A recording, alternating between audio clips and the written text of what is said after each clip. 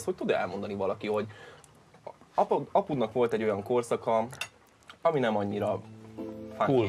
nem annyira cool, igen. De ezt hogy, hogy tervezed? Egy baj van az egész sztoriban, hogy nincs, nincs erre, erre ö, konkrétum, nincs, nincs erre recept. Nem tudom, hogy mit fogok mondani. Én egy dolgot tudok mondani, hogy őszinte legyeszek.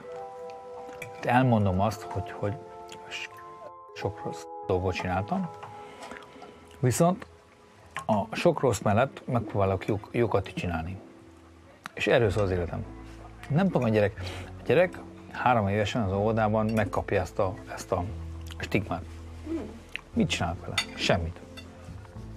Most ott tartok, hogy próbálok, próbálok úgy, úgy élni, hogy az ő, én, az én gyerekem, majd, hogy egyszer négy éves lesz, és azt mondják neki, hogy, hogy az apát egy viszkis rabló, ne, ne sérüljön. Uh-huh. Azt gondolom, ez a legfontosabb az egészben. Szerintem ezt nagyon jól látod. Nem az, nem az hogy, hogy én jó ember voltam, nem voltam jó ember. Biztos rossz, sok rossz dolgot csináltam, viszont nem tudom a múltat megváltoztatni.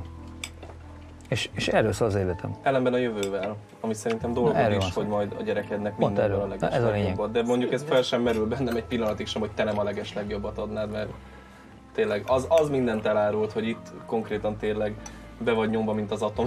Rögtön az Engedd el. első az volt, hogy neki viszed a, a kaját. Igyekszem felkészülni erre a pillanatra, nem lesz egyszerű. De én azt gondolom, hogy tudnia kell, hogy miket csináltam.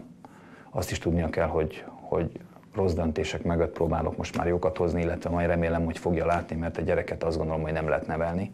Egy gyereknek mintát kell adni, egy pozitív mintát, és szeretni kell.